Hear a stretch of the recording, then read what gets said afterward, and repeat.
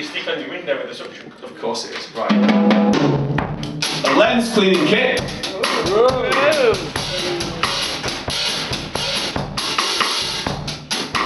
Mask. A bottle that says "Singing is my life." Get yourself down the old star um, open mic on the Thursday with that.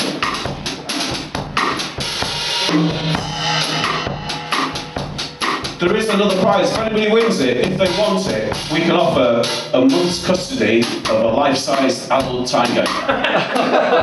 like seriously, and it has been won before. So if you want Timmy the Tiger for a month, I mean it, really. Like, I'll bring him round.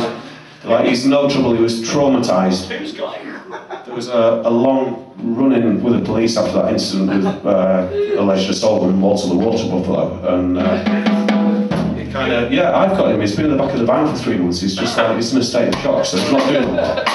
Um, so you can win two with the tiger, but you have the option to say no if you want, and if you live miles away, I'm not delivering him. But um, finally, I've no idea why, but piece of cardboard wrapped in plastic.